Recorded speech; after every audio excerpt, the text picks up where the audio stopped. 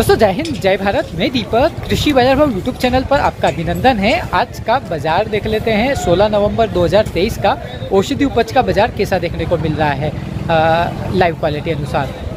अट्ठाईस सौ रुपये चिरायता कालमेट बिका है। दो हज़ार आठ सौ रुपये प्रति क्विंटल के दाम से देख सकते हैं। क्वालिटी कलर वाला माल है। अच्छा ग्रीन माल कलर वाला माल भी सूखा है। बाकी हल्की सी नमी कह सकते हैं। थोड़ी नमी है। एकदम सूखा माल नहीं कह सकते हैं। तो मुहूर्त में आज अट्ठाईस सौ रुपये पहला माल बिका है चिरायते की गाड़ी का।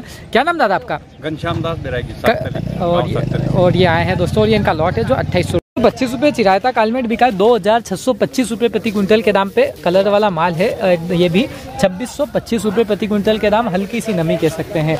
एकदम सूखा माल नहीं है हल्का सी नमी कह सकते हैं। और ये इनका लॉट है दोस्तों जो बिका। क्या नाम काका जी आपका? बालजन। कैसा गाँव रो? जी और ये इनका लॉट है दोस्तों अ, जो सात सौ इक्यासी रुपये अजगन पाला बिका, अजगन का बगदा एवरेज क्वालिटी है पूरी सात सौ इक्यासी रुपये प्रति क्विंटल के दाम पे पाले का भाव।